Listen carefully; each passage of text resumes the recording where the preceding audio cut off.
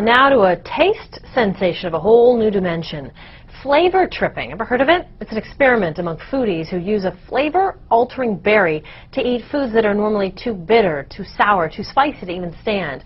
Well, now doctors are studying the berry in hopes that it will stimulate the appetite of cancer patients that are undergoing chemotherapy. Doctors say there's some real medical potential with this miracle fruit. To find out more about it, we're going to turn to Dr. Mike Cusnir. He's a medical oncologist and a lead researcher of Mount Sinai Comprehensive Cancer Center, which is in Miami. Doctor, nice to talk to you this morning. Same. Uh, so tell us about how this berry came to, you came to know about this berry and why you think this could be the secret weapon to help people that are going through cancer treatments to actually maintain a healthy and tasty diet. Well, essentially, there's um, several studies that have reported that patients that are undergoing uh, chemotherapy have um, alterations of uh, taste. Some patients describe the food uh, as uh, having metallic taste. Mm -hmm. Some patients actually describe the food as having no taste whatsoever. I, I, remember a patient of mine that gave me a quote that I use quite a bit in which he said that he could order pizza and eat the box and not realize the difference in between the box and the pizza. Um, one day while I was treating a patient that um, had uh, some work uh, with the Fairchild Botanical Gardens here in uh, Miami, he came across with one of the gardeners and he discussed these issues with the gardener and he told him about this uh, miracle fruit. So he brought it into the office. Uh, essentially the patient walked into my office with a few of the berries as well as two lemons and uh, he, told, he told me just try it and when we tried it it was quite interesting as uh, you just tried it, and um, we decided to go ahead and uh, try to start a study. Okay, so tell me about that study. I know you have support from the Food and Drug Administration for a clinical trial. So about five months now, you have been researching, is it 40 cancer patients, and what have you found?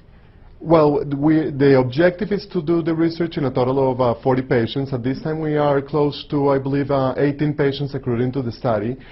Uh, the results are preliminary so far, uh, but uh, just uh, informally and without doing the full statistical analysis, it appears to be that uh, there's uh, quite a bit of improvement in taste. out of the first 18 patients, I know only of three patients that have referred that they have no effect uh, on their taste when they tried the fruit. All the other patients have referred that the fruit actually improved quite a bit their uh, taste. So it obviously doesn't help everybody, but it helps a majority of the people that at least you've been studying in this clinical trial. How exactly does it work? This miracle fruit releases some sort of a protein? Yeah, it's, uh, it's not completely well understood. There's uh, several reports in the literature that go back to 1964 and 1968 in which the actual compound of the um, fruit that may alter the taste, it's a protein that it uh, has been called the miraculin, um, has been studied, has been attempted to be synthesized in the past by uh, several uh, companies. Uh, however, it has not been done uh, in a large scale. And it appears to be that it just uh, intercalates in the taste buds and uh, improve the, the amount of um, of a sensation that is received in the, in the tongue receptors. And obviously you're most concerned as an oncologist about the terrific changes it could bring for people that are uh, undergoing chemotherapy. But I understand this also has uh, more medical benefits as well, possibly for somebody battling diabetes.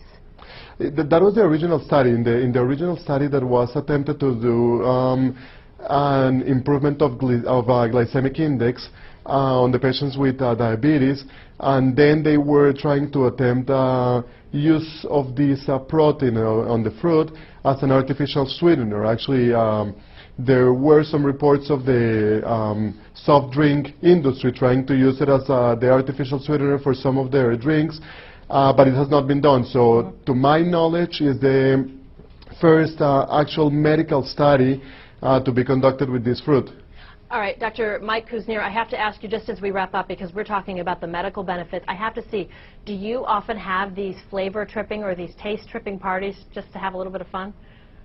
No, we, uh, I haven't, but I have tried the fruit uh, with several um, of the people in the office just mm -hmm. to, to know that we, it was a believable effect and it was not just my feeling out of the excitement when the patient showed it to me. And uh, it, it does appear to have uh, an effect in most of the people with normal taste, so we hopefully will uh, see the same on the patients that are undergoing chemotherapy. Fascinating research. Again, the miracle fruit hailing from West Africa, but found also in South Florida. Dr. Mike Cusnir, a medical oncologist and lead researcher with Miami's Mount Sinai Comprehensive Cancer Center. Thank you, doctor. Appreciate it. My pleasure.